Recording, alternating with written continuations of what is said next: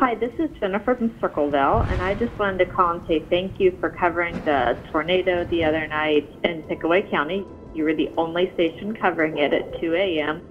We woke up to our phones going off, flipped on the TV, and only Channel 4 was covering it.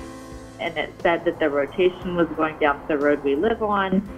We were able to go to the basement, and we just we appreciated your station actually covering it. So I just wanted to say thank you.